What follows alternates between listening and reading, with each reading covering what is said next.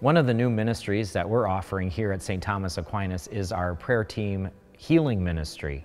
And this is a great opportunity for us to be able to offer to the people of our parish um, after Mass on the first Sunday of every month. Basically, we have two um, team members that will be able to pray with people um, after Mass when people come forward to want to pray for healing or any other kind of miracle in their life all of our prayer team members have been trained, and most of them have been trained through the Encounter School of Healing, where they learned this type of prayer and they learned um, that this prayer comes from the grace that they received at their baptism. And so they, they, they have these beautiful prayers that they pray over people, and we do expect miracles to happen. We do expect um, Jesus to hear and answer our prayers. And we also hope that people feel loved by God and loved by our community here when they're prayed over, and we always pray that God's will be done in our lives. One of the things that surprised me when I began studying the new evangelization is how important healing is in, in the enterprise of evangelizing that people um, oftentimes are moved to faith in Christ through healing. And there's so many people, so many of us um, that are in need of healing in our lives. And when we can have that healing, we're more open to a relationship with Christ. And I, I don't know why this was even so surprising to me because it is a very prevalent aspect of Jesus' own ministry when we read about Jesus in the Gospels. Um, he almost always um, had healing accompany um, his ministry and his preaching of the good news of salvation.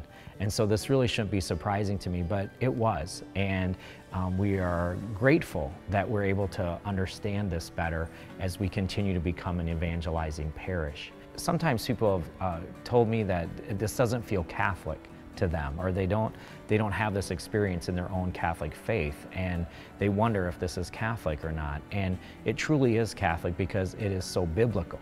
And as Catholics we do believe in the Bible.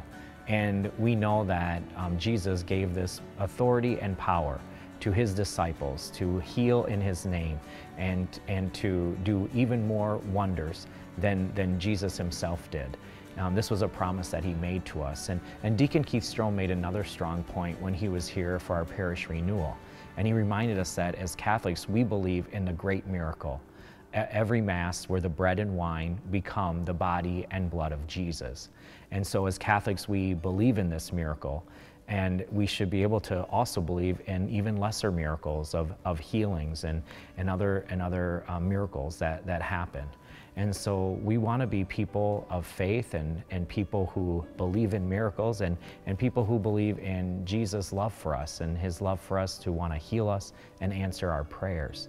So I encourage you uh, the next time we offer our healing ministry to come forward. Um, we have the healing ministry every first Sunday of the month after Mass.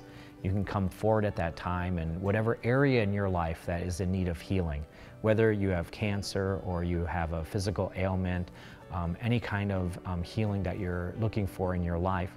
It could also be a prayer for forgiveness to help heal from hurt relationships or um, other difficulties that you have um, in your life. Um, we also can pray for miracles that we are needing in our own families. And so whatever those prayers are, we, I invite you to come forward and be prayed over by our prayer team. Um, they have been trained in the um, prayers that they pray and they use the grace that they receive in their baptism um, to, to, to bring about the healing power of Christ in our midst. And we know and we expect our prayers to be answered and we expect miracles because Jesus loves you and wants to heal you.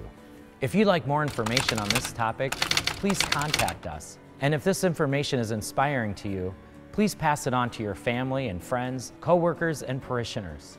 If you'd like to see more video content in the future, make sure to follow us on Facebook and subscribe on YouTube.